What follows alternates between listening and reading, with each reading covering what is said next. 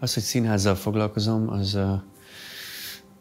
úgy érzem, hogy egyre inkább befolyásolja a verseimet. Mindig azon kapom magam, hogy valamilyen színházas témáról írok, még a burkoltan is, de nagyon inspirálnak a,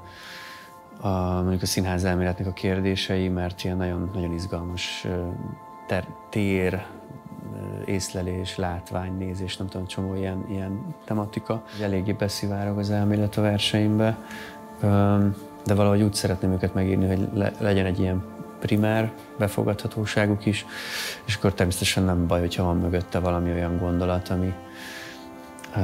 ami ennél talán rétegzettebb. De hogy valahogy azt látom, hogy, hogy, hogy az, azért jók ezek az elméleti szövegek, mert hogy az emberek hétköznapokban nem jutnak eszébe ennyire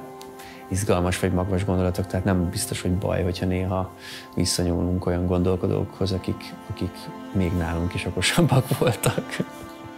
Szerintem abszolút van igény az eredetiségre a, a költészetben, a kortárs költészetben olyannyira, hogy van egy ilyen eredetiség fét is, tehát hogy így mindenki nagyon eredeti akar lenni, és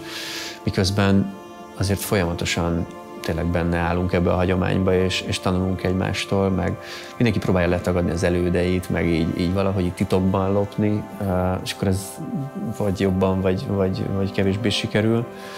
Mm, de abszolút van, van erre igény, és, és ezért is mondtam az előbb ezt, hogy, hogy mondjuk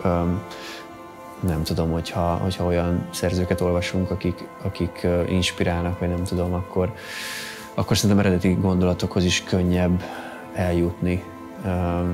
mert azért nem tudom, a hétköznapi valóság az nem mindig annyira inspirál eredeti gondolatokra, legalábbis engem. Pont azt érzem, hogy nagyon egyszerűen gondolkodunk a hétköznapokban.